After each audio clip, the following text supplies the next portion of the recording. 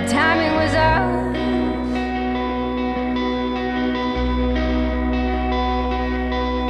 Thinking the